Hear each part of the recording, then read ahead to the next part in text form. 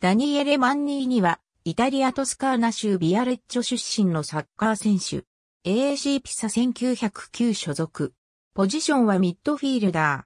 父は、ピサカルチョなどで活躍したゴールキーパーのアレッサンドロ、マンニーニ。2004から2005シーズンより、ブレシアカルチョに所属し、セリエ A デビューを果たす。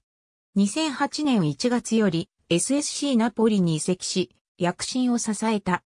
しかし2009年1月、2007年12月の AC キエーボベローナ戦において、ドーピング検査に遅刻したペナルティとして、世界アンチドーピング機関より訴追され、スポーツ仲裁裁判所より1年間の出場停止処分を下された。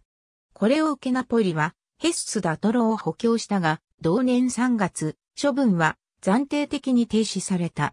2009年7月、ウーゴ・カンパニャーロとのトレードで UC サンプドリア移籍。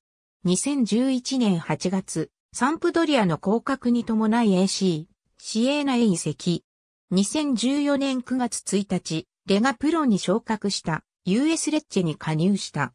2014から15シーズン終了後に双方合意の元クラブを退団し、2015年8月27日に AC ピサ1909と契約を結んだ。ありがとうございます。